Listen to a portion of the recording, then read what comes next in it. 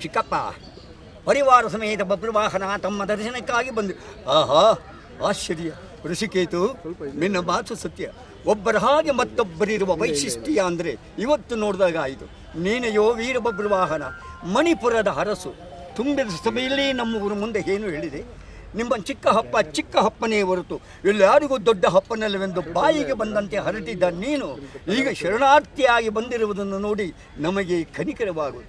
ಪ್ರಾಣ ಭೀತಿಯಿಂದ ತಲೆ ಬಗ್ಗಿಸಿದವರನ್ನು ತಲೆಕಾಯುವುದೇ ಪಾಂಡವರ ಧರ್ಮ. ಕ್ಷಮಿಸಿದ್ದೆ, ಮೇಲೆ ಹೇಳು. ಪ್ರಾಣಭೀತಿ? ಪ್ರಾಣ ಭೀತಿಗಾಗಿ ಹೆದರಿ ರಕ್ಷಣೆಯನ್ನು ಬಿಡಲು ತಲೆಯನ್ನು ತಗ್ಗಿಸಲಿಲ್ಲ. ಜನ್ಮ ಕೊಟ್ಟ ತಂದೆಯ ಚರಣಾಧಾರಗಳಿಗೆ ಭಕ್ತಿಯಿಂದ ತಲೆ ಬಗ್ಗಿಸಿ ಶರಣಾಗದನ. ತಂದೆ, ಯಾರು ನಿನ್ನ ತಂದೆ? ಪರಶುವನ್ನು ಮೆಚ್ಚಿಸಿ ಪಾಶುಪತಾಸ್ತ್ರವನ್ನು ಪಡೆದ ಪರಮವೀರ ಗಾಂಡವನ್ನು ಅಗ್ನಿಗೆ ನೈವೇದ್ಯ ಮಾಡಿ ಗಾಂಡಿಯೋವನ್ನು ಪಡೆದ ಈ ಗಂಡುಗಳಿ ಹ್ಮ್.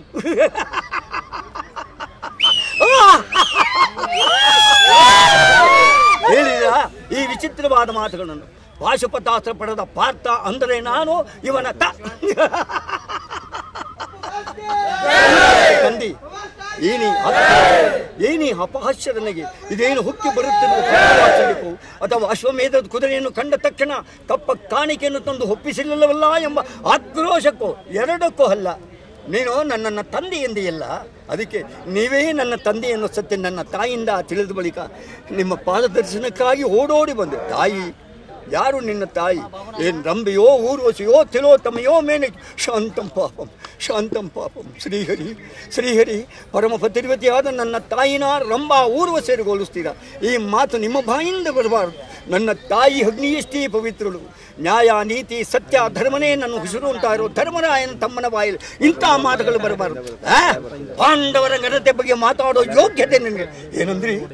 ಪಾಂಡವರ ಘನತೆ ಮಾ ಬಗ್ಗೆ ಮಾತಾಡೋ ಯೋಗ್ಯತೆ ನನಗಿಲ್ವಿ? ಅಮ್ಮ ಅಮ್ಮ, ನೋಡಿದೆಯಾ ತಾಯಿ? ಇಷ್ಟು ವರ್ಷ ನನ್ನ ಜನ್ಮ ರಹಸ್ಯವನ್ನು ಮುಚ್ಚಿಟ್ಟಿದ್ದ ಪ್ರತಿಫಲ ಎಂಥ ಅಗ್ನಿ ಪರೀಕ್ಷೆಗಳಿಗಾಗಿತ್ತು ಮಹಾ ಮಹಾವೀರ, ನೀವು ಮಣಿಪುರಕ್ಕೆ ಬಂದಿದ್ದು, ನನ್ನ ತಾಯಿ ಚಿತ್ರಾಂಗದೆಯನ್ನು ನೋಡಿದ್ದು, ಗಾಂಧರ್ವ ರೀತಿಯಿಂದ ಮದುವೆ ಆಗಿದ್ದು, ನನ್ನ ಜನ್ಮಕ್ಕೆ ಕಾರಣಕರ್ತರಾಗಿದ್ದು, ಒಂದೂ ಜ್ಞಾಪಕ ಕೆಳ ನಿಜವಾಗಲೂ ಇದ್ದಿರ್ತಾನೆ. ಯಾವ ಮಣಿಪುರ?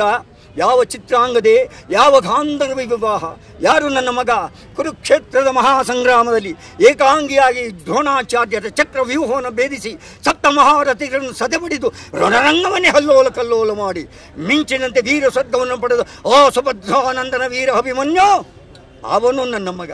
ಮೊದಲೇ ನಾನು ನಿಮ್ಮ ಮಗ ಅನ್ನೋ ಸತ್ಯ ತಿಳಿದಿದ್ದರೆ ಹದಿನೆಂಟು ದಿವಸ ನಡೀತಾಳೆ ಈ ಮಹಾ ಕುರುಕ್ಷೇತ್ರ ಯುದ್ಧ ಕೇವಲ ಎಂಟೇ ಎಂಟು ದಿವಸದಲ್ಲಿ ಪೂರ್ತಿ ಮಾಡಿ ಪಾಂಡವರ ಕೀರ್ತಿನ ಬೆಳಗುತ್ತಾ ಇದ್ದ ಈ ನಿಮ್ಮ ಮಗ, ಮಾತು ಮಾತು ನನ್ನ ಮಗ ನನ್ನ ಮಗ ಅಂತ ಹೇಗೆ ಹೇಳ್ತಿ ಯಾಕೆ ಹೇಳ್ತೀಯ? ಹೋಗಿ ನಿಮ್ಮ ತಾಯಿನ ಕೇಳು.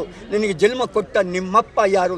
ಇದೇ ಮಾತನ್ನು ಬೇರೆ ಯಾರಾದರೂ ಮಾತಾಡಿದರೆ ಅವರ ಹೃದಯ ನಮಗಿದು ರಣಸಂಡಿಗೆ ಅವತರಣವನ್ನು ಕೊಡುತ್ತಿದ್ದೆ ಆದರೆ ನೀವು ಹಿರಿಯರು, ಶ್ರೀಕೃಷ್ಣ ಪರಮಾತ್ಮನ ಆಪ್ತರು. ಆ ಗೌರವಕ್ಕೋಸ್ಕರವಾಗಿ ತಮ್ಮಲ್ಲಿ ಕೈಜೋಡಿ ಬೇಡಿಕೊಳ್ಳುತ್ತೇನೆ. ನನ್ನ ತಾಯಿ ಅಗ್ನಿ ಎಷ್ಟೇ ಪವಿತ್ರಳು, ಅವರಿಗೆ ನಮ್ಮನ್ನು ಕೃತಾರ್ಥನಾಗಿ ಮಾಡಿ. ನಮ್ಮನ್ನು ಕೃತಾರ್ಥನನ್ನ ಛೀ, ದೂರ ಸರಿ. ನಿನ್ನ ಅಪವಿತ್ರವಾದ ಕೈಗಳಿಂದ ನಮ್ಮ ಪಾದಗಳನ್ನು ಮುಟ್ಟಬೇಡ.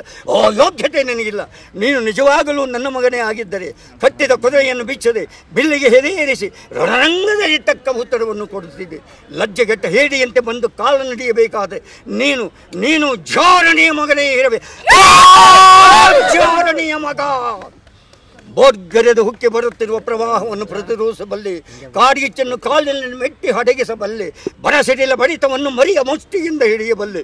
ಆದರೆ ಆದರೆ ಈ ಮಾತು ನಿಂದನೆಯನ್ನು ಮಾತ್ರ ಸಹಿಸಲಾರೆ. ಅರ್ಜುನ ಮಲಗಿದ್ದ ಮೃತ ದೇವತೆಯನ್ನು ಬಡಿದಬ್ಬಿಸಿದೆ.